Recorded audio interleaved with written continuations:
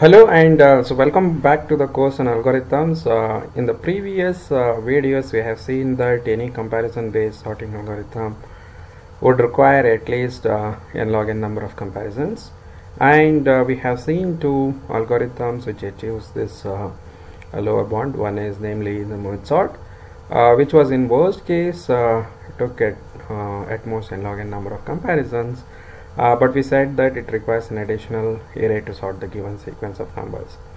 Then we have also see say, uh, saw a uh, randomized uh, quicksort algorithm uh, which on average uh, took n log n time but in worst case it was order n square.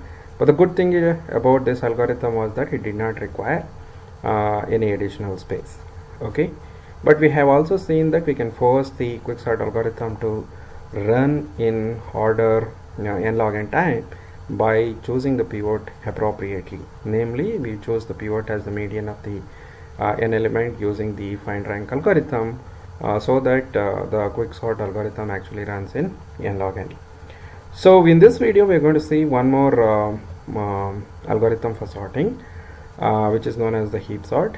Uh, so this in worst case uh, will work in n log n but would not require any additional space this uh, this particular algorithm will have both the nice properties of randomized quicksort uh, as well as um, uh, the merge sort algorithm. So even though the quicksort algorithm we were able to run in n log n in worst case we said uh, since we are using the median as an intermediately uh, intermediate algorithm to compute the pivot uh, the constants involved in worst case are very high numbers.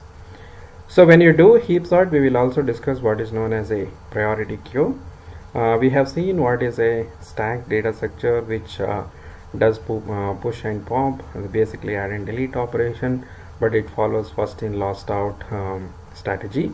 And we have also seen uh, the queue uh, which also uh, supports enqueue and dequeue operation. So here the last in is the last out is the operation. So in in this video we'll also see a priority queue. Uh, it means that every time when you add an element uh, we are going to add that element with some priority associated with each element. And we, when we delete uh, we either delete the minimum priority element or the maximum priority element. So if you delete the minimum priority element then it's called the minimum priority queue. If you are deleting the maximum element uh, then it's called as the uh, maximum priority queue. So the heap is one data structure which will support both uh, the add and uh, uh, min or maximum deletion in order log n time. Okay so we will get started with so what the understanding of so what is a binary heap? We'll look at an example and also show that the height of a binary heap is order log n. So in this video we're going to study about uh, binary heaps. Before we begin let's uh, quickly recap uh, the two data structures that we already studied. So one is called as the stack which follows the uh, first in last out or the last in first out uh, principle. Uh, so the add is called as push and the delete is called as pop. In the case of a queue uh, it follows the strategy of first in first out or the last in last out. And the add operation is the key, enqueue operation and dequeue is the delete operation so we can generalize this notion of uh, queue into priority queue. When an element is added, uh, a priority is added to uh, every element. And when we are asked to delete, uh, so we are asked to delete either the minimum or the maximum element, uh, element with the maximum priority. So if you delete the minimum uh, priority element, then it's called as the minimum priority queue. And uh, if you are deleting the maximum element uh, element with the maximum priority uh, then this is basically called as a maximum priority queue. So we will discuss mainly focus on the minimum priority queue. Uh, it's always easy to implement uh, the maximum priority queue once you know how to implement uh, minimum priority queue. in this example, in this video, we are going to talk about binary heaps, which are a kind of minimum priority queue, and so we'll see several uh, minimum priorities queues which will be able to do this add and delete operation uh, very efficiently. Uh, in particular, we are going to see in this video that binomial uh, binary heaps uh, will be able to do add and delete min in order log n. so let's just quickly try to understand what's a binary heap uh, so we without saying without I will we will not repeat this we will always focus on the minimum binary heap when I say that uh, it's a binary heap we are always referring to the minimum bi binary heap uh, so it's a complete binary tree in which each node is associated with a key. Yet each node of the tree the value of the key is smaller than or equal to the value of its both the children. Let's look at uh, so there are two main properties. One is that it has to be complete uh, binary tree property. Uh, this is called as the structural property uh, of the binary heap and it has to follow the second property there is a no key value which is called as a priority which is written on every uh, node of the key that keys those keys should satisfy the property that uh, which is every node should have a value which is smaller than or equal to 2 of a value that is written on um, uh, two of his children. This property is basically, uh, we are going to refer to this as the heap property. Let's look at this example. So here this is a heap. First of all, it has to be a complete binary tree. Before you go to the next level, so the previous level, so till uh, the till the previous level, it has to be a full binary tree. And in the last level, we have to basically fill the nodes from left to right. So that's what makes this uh, tree as a complete binary tree so every time when a, we have to verify that a, a, uh, a heap is a binary heap um, so we have to ensure that it is uh, a complete binary tree and also it satisfies the heap property at every node. You can check that 5 is smaller than 26 and 43 26 is smaller than 32 and 29 32 is smaller than 39 and 85 and in the leaf nodes the heap property is anyway satisfied because it doesn't have children. So 43 is smaller than 64 and 93 so the heap property it's a complete binary tree and the heap property is satisfied at every node uh, in the binary heap so that's why this is a binary heap so we can also do the level order traversal of the tree and write down the level order numbers of for each of these nodes.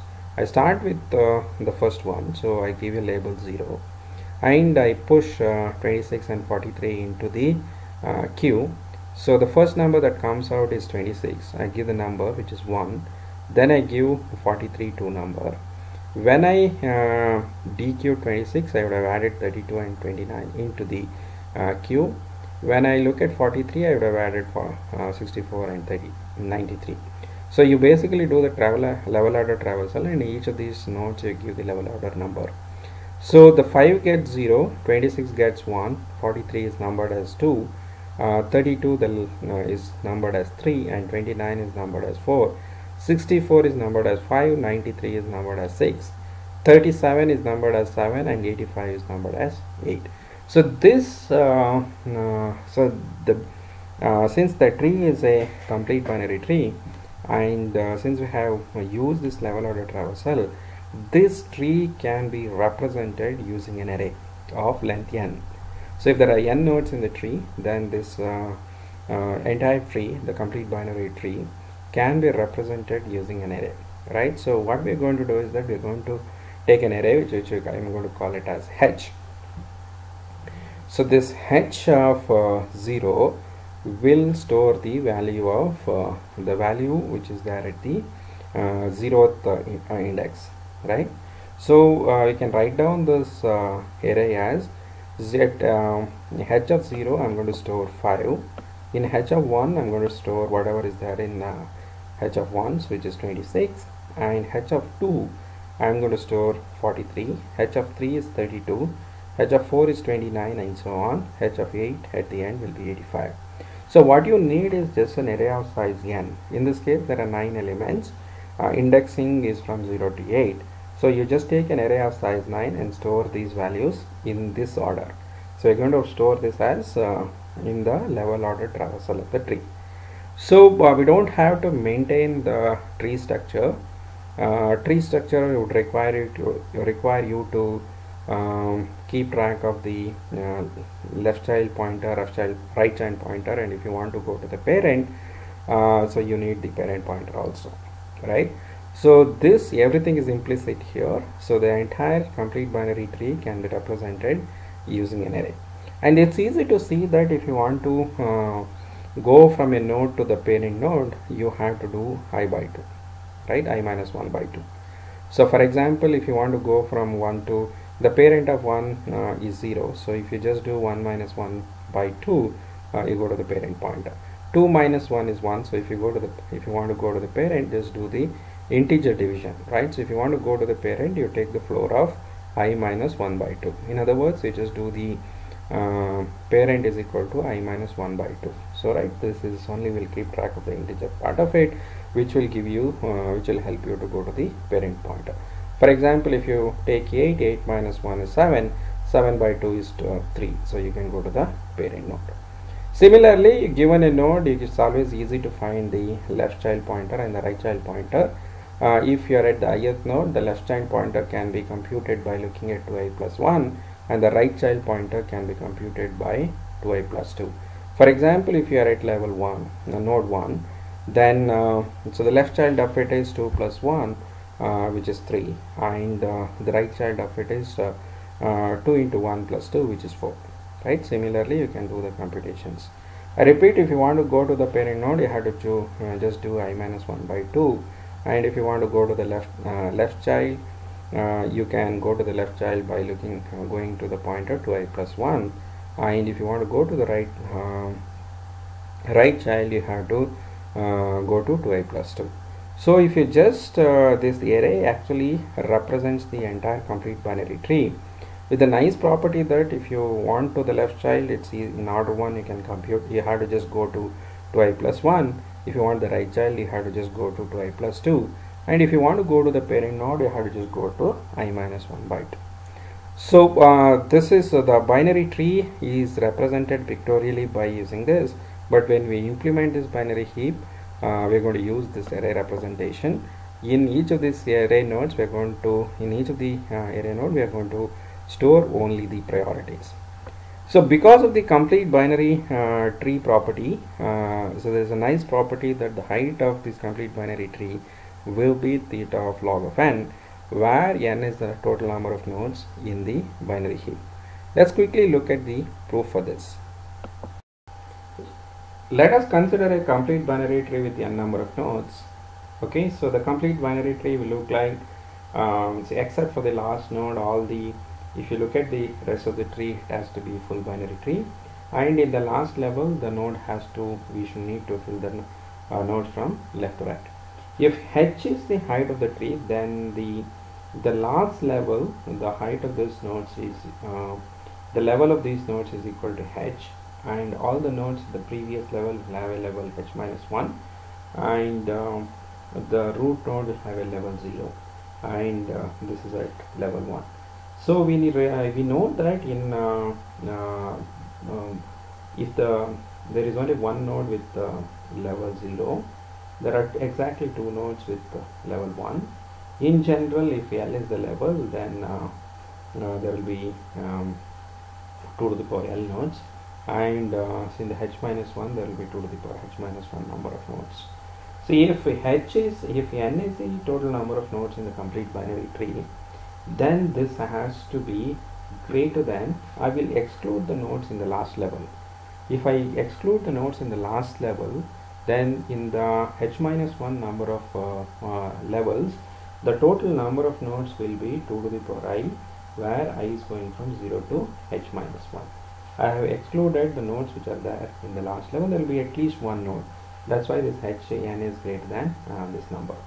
And this number we know that is equal to 2 to the power h uh, minus 1 so which implies that n is greater than 2 to the power h minus 1 which essentially means that h is smaller than n plus 1 or 2 to the power h is smaller than n plus 1 which essentially means that h is smaller than log of n plus 1 so this gives an upper bound that height of any complete binary tree will be smaller than log of n plus 1 so we can also similarly get the uh, upper bound for the n in terms of uh, h. So we would say that n is certainly smaller than or equal to. I will include uh, uh, so I will try to count all the nodes if assuming that all the nodes are full. So if uh, as in the last node the number of nodes can be either 1 or it can be 2 to the power h. So, uh, so if I look at the summation 2 to the power i where i is going from 0 to h that means that there's a full binary tree with um, the last node completely filled but in the complete binary tree the last node uh, need not be completely filled so the number of nodes in a complete binary tree whose height is h is smaller than or equal to summation of i is equal to 0 to h 2 to the power h so this summation is, is equal to 2 to the power h plus 1 minus 1. This would imply that 2 to the power h plus 1 is greater than or equal to n plus 1. So if I take logarithm on both sides, what I would get is that h plus 1 is greater than or equal to log of n plus 1. In other words, h is greater than uh, log of n plus 1. So if I plug these two things together, so what I'm going to get is h is smaller than log of n plus 1 but h is also greater than or equal to log of n plus 1 minus 1 so if I ignore all the constants I can write that h is uh, theta of uh, log of n. Which means that if I start with a complete binary tree uh, then the height of the complete binary tree is uh, order log n. So in this video we have seen what's a uh, binary heap. We defined a binary heap as a complete binary tree with, uh, with the property that uh, each node will have satisfy a uh, heap property. So namely at every node the value of the node is smaller than or equal to uh, value of its children. so we have also seen that since it's a complete binary tree there is a structure associated with the binary heap which enforces that the height of the tree uh, is theta of log of n. We will use this fact and uh, um, do several operations uh, Uh, in the next video whose complexity will be uh, order log n which is the height of the uh, binary heap.